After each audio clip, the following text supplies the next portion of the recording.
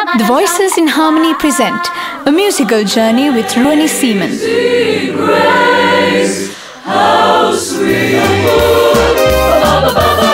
On the 18th, 19th and 20th of August at the Lionel Wendt at 7.15 p.m. Tickets available at the Lionel Wendt.